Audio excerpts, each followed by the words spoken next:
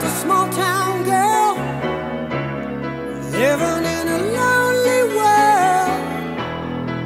She took the midnight train going anywhere. Just a city boy, born and raised in South Detroit. He took the midnight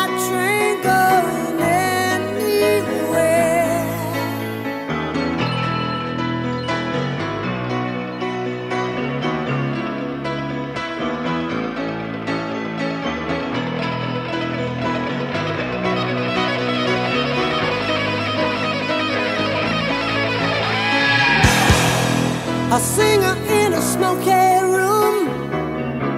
The smell of wine.